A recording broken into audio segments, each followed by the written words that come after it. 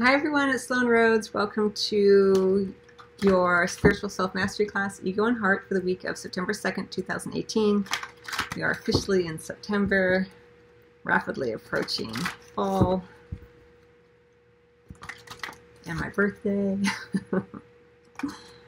know, September baby. Okay, so let's go ahead and get started. All right, so today I think I'm going to get a card from the Chakra Reading Cards by Rochelle Sharman as the overarching theme. And then as I do every week, I'm going to get one card in the position of what our heart, or what our ego might try to distract us with based on the overarching energy, but our heart asks that we explore further and what we can expect regardless. And I couldn't decide what deck to use, but I just finally decided on the Animal Tarot by Doreen Virtue and Radleigh Valentine. I just, uh, I love animals so much, so uh, I haven't used this deck in a while.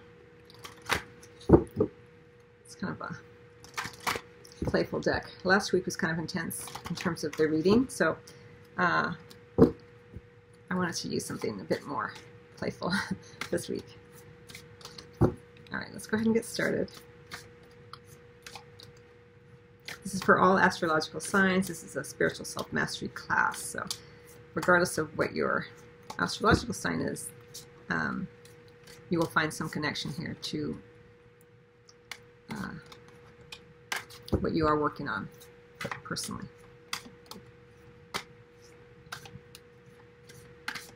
Oh, I just want to remind everyone too, or in case you didn't know, I, I extended my summer sale for my online courses through the end of September 3rd. Uh, originally I was ending September 1st, but I forgot it was Labor Day, so I extended it for Labor Day.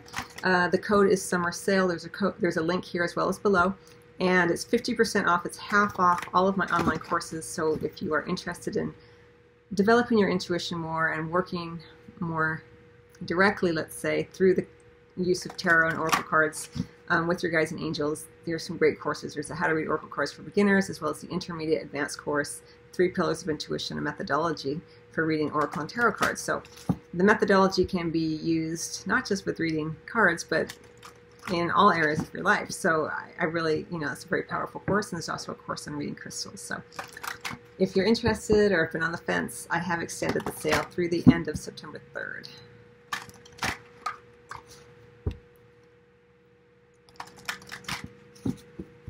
And it is unlikely that I will be offering such a savings for a while, so um, if you're on the fence, you might want to take advantage of it. If not, that's fine too.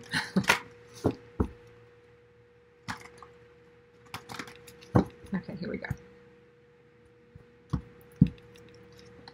Clarity and grounding. So I'll show you this card first. All right, so we, the overarching theme is clarity, number 25, number 7. And then we have grounding under the deck, number 4.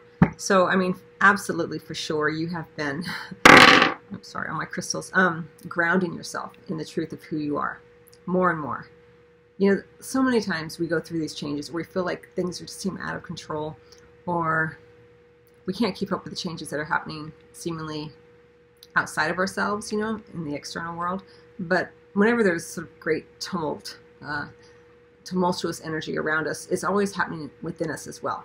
So you've been grounding yourself so that you can manifest more clearly uh, who you are based on your understanding of how events and circumstances around you and within you are giving you greater clarity. You know, they're, they're occurring in order for you to define and redefine and refine your values, your feelings, your vibrations, your relationships, all of this. And now you're getting greater clarity. And sometimes it takes a while, you know. Um, and the, but the grounding that you have been doing, you know, number four, creating something very stable for yourself as you gain greater clarity. Lovely energy. Um, again, not always easy energy. Because what occurs is when you are uh, growing spiritually, awakening uh, spiritually, gaining greater consciousness and clarity, you begin to hold more light, right, in your physical body. And as you hold more light, it can become very, it can feel very unstable and we can have symptoms of detox and this kind of thing. But as you hold that, that light for longer, it becomes more the new familiar, let's say, how you ground yourself in it. So each and every time that you're able to hold a higher vibrational thought or sustain an activity that feels healthier to you or a dialogue that feels healthier. The longer that you can hold the vibration of it or the frequency of it, the more you ground yourself in it, you know? So it's not just about the length of time as well, but the the the frequency or the consistency with which you do it.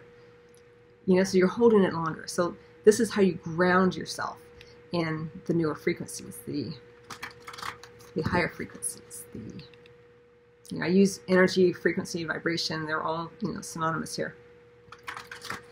That's the grounding that you're doing. It's the grounding, the integration, the holding it longer, more often. And when you do that, you gain greater clarity. All right, so let's see.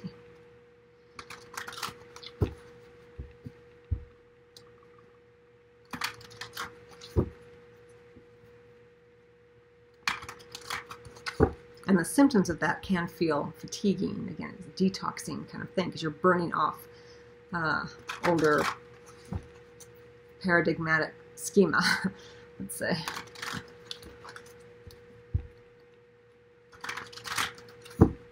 Not to mention the denser energies.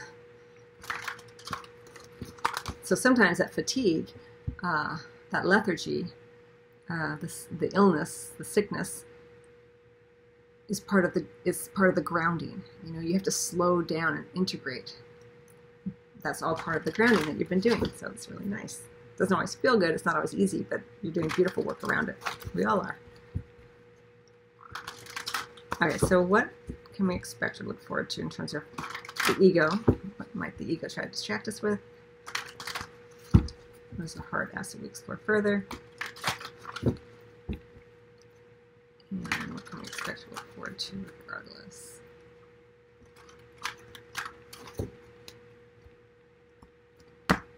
Okay, here we go. The world. So the ego may try to distract us with the world, the Shetland sheepdog in this deck.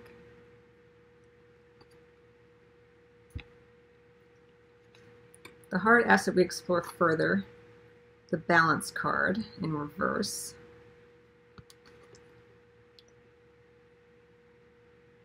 Zebra. And what we can expect to look forward to regardless is the King of Spring in the reverse. Here's the lion. So there may be a Leo individual or a fire sign, uh, fire sign Sagittarius or Aries who's involved um, or prominent during this week. So we're working on greater clarity, right? We have the clarity card. Again, uh, clarity comes with, uh, in this deck, in this situation, in this week. Um, it may, I feel like, I feel like it's not so much that it's taking a long time. I feel like it's during the week. I feel like it's been a long integration in order to get, gain clarity. So I feel like even though it's the number seven, I don't feel like the seven is slowing down this week. I feel like it's just been this sort of long progressional energy of integration, grounding, and now you have greater clarity, which is really, really nice. And so the ego may try to distract us with this beautiful Shetland sheepdog, the world.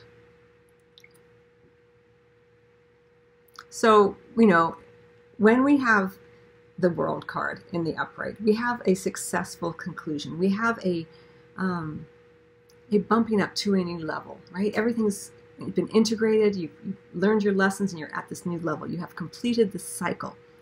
And it's a beautiful time for the ego to come in and be like, Aren't you amazing? you did it all through your own hard work. You deserve this. You know, it can come in in terms of um, our pride, our lack of humility, this kind of energy. So for some of you, that may be the case. You know, we do have this king of, of uh, spring in the reverse. You know, very uh, like you know, the king of spring is not someone who's humble and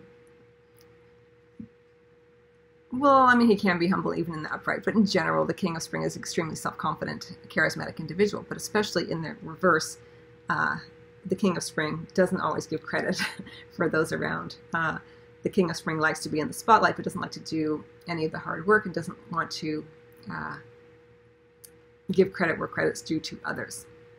So this is why I say with the World card, your you know your ego may be like, yes, you know, it's all me. I've done it all myself. And you know, in truth, you're being asked to have clarity about where you have um,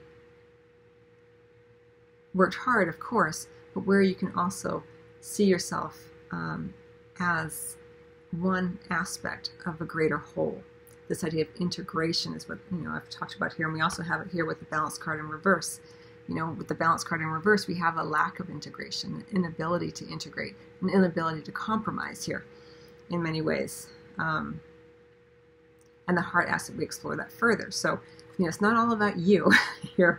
Uh, you've done good work. You are at this place of completion, absolutely. But remember the good work you've already grounded yourself in, and that is that you are more than your incarnation, that you are part of a larger whole.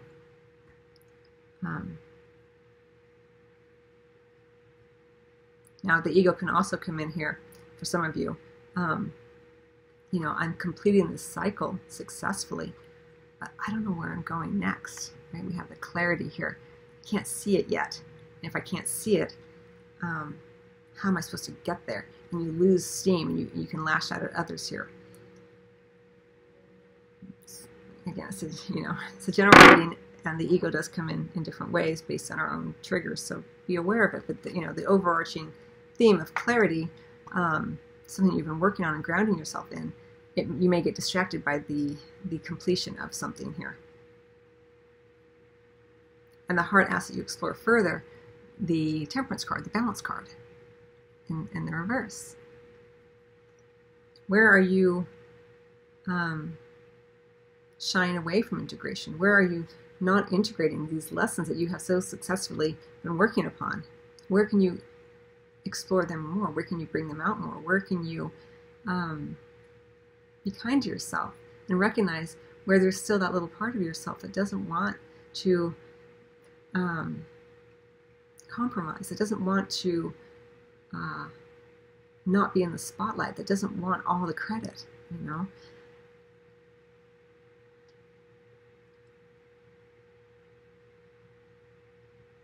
The ego,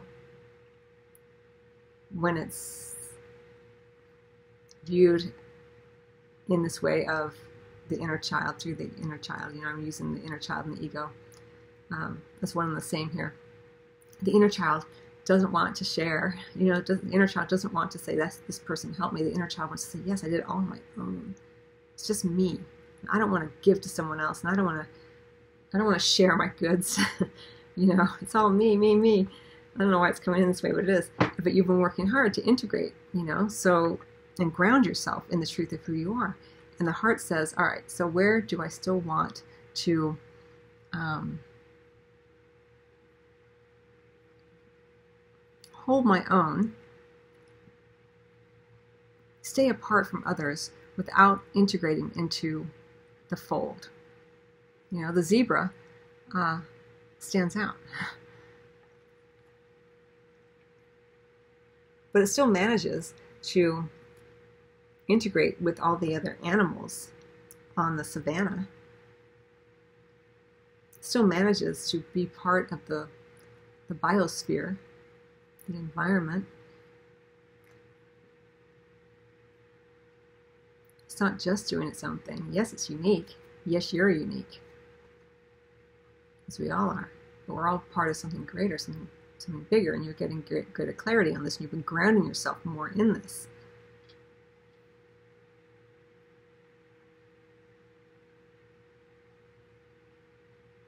Again, there may be a fire sign who's prominent, or it could be you, of course, but you know, for some of you, the Leo energy is maybe prominent with the lion here.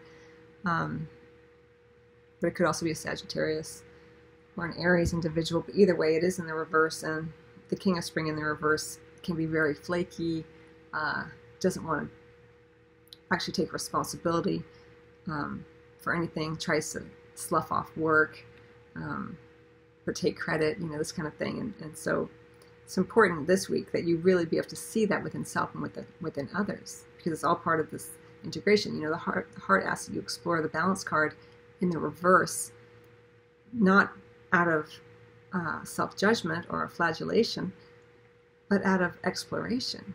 You know, where can I fit in more? Where can I take what I have successfully completed, knowing that I've worked hard, knowing that I'm bumping up, knowing that I have an opportunity here to move forward into a new level, to a new path. And where can I fit it into society? Knowing that I'm unique, but I'm not doing it all on my own.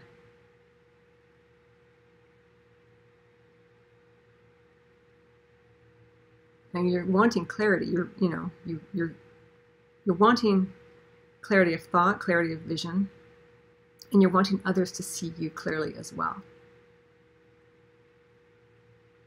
And you're seeing others clearly as well. But if you want others to see you clearly, you have to see yourself clearly. if you want others to be clear with you, not only do you have to be clear with yourself and what you want and what your intentions are, but you have to be clear with others. People will respond to you in the way that you, the more clear you are with others, the more that they will respond to you in a very clear and definitive way. Let's put it that way. So there's a lot of messages here.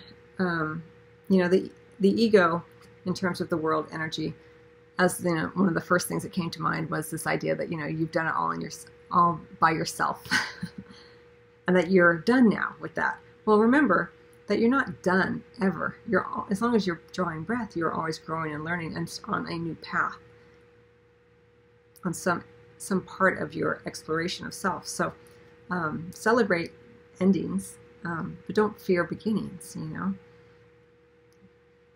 clarity of thought, clarity of vision, but clarity of spirit as well. You know, you. So I mentioned this idea of, of holding more light, holding more truth or clarity, uh, as you do that for longer and more often, for longer periods of time and more often, you gain that, that clarity. Right? You gain that clarity of, of spirit, you know. And the heart says, all right, so where is there some imbalance? Where can you integrate more? Where can you be more moderate in your approaches, in the way that you express yourself? Where can you be a bit more compromising, less self judgmental?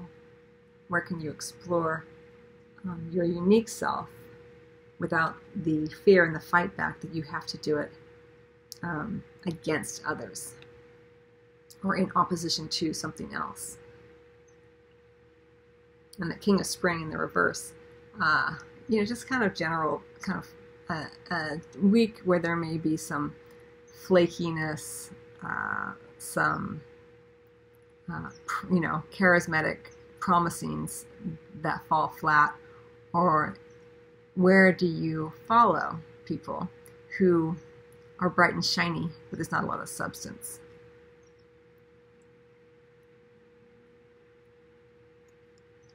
You're getting clarity on that.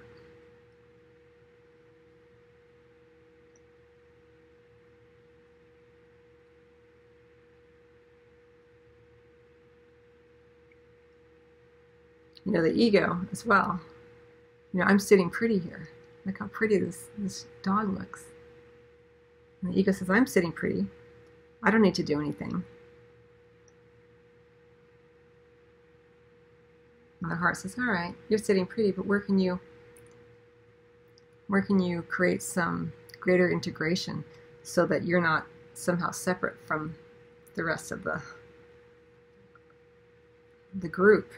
All the other plants and animals on the savannah, as I mentioned. It's, it's nice to be sitting pretty. It's nice to have the completion. It's nice to have the successful ending and the bumping up. But where can you give back? And where can you be more compromising, more moderate, more, more humble?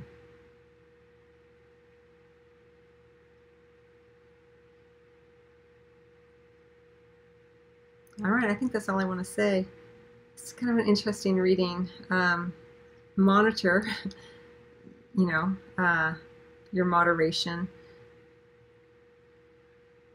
Look for opportunities to integrate successfully. Look for opportunities where you are trying to integrate things that can't be integrated and where you can say, All right, my heart is recognizing with greater clarity that this is not a situation that blends well. You know, with the with the balance card in reverse, the heart says, "All right, I see you trying to integrate, trying to create um, a more moderate approach here, but where are things, some things, just not fitting? And it's okay to say goodbye to an energy that's flaky, that's fluffy, that's superficial." that holds great promise but no substance. The heart says, Where can you recognize that it can never be blended? You know, you're bumping up here. The ego says, Yes, I'm bumping up. And gets all excited like it's all you. But remember, it's not just all you. You're meant to explore other aspects of your gifts and your opportunities in conjunction with others.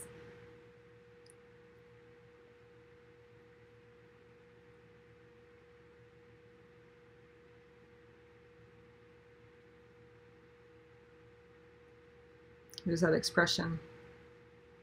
I think I have it right. It's uh, something like, uh, "There, but for the grace of God, go I." And I feel like that with this. Like, yeah, you're bumping up, but you know, don't get too excited. Uh, it's not just about you. You know, be humble. Be you know, have some humility here. Be grateful and appreciative.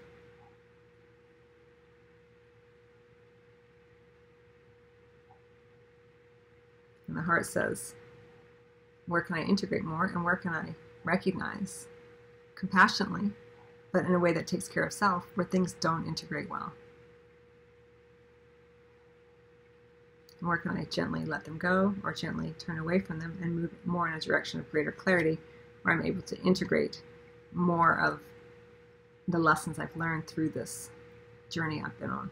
So, okay, that's it. I hope that you found that helpful. I wish you much love and a wonderful week, and I will see you uh, next week.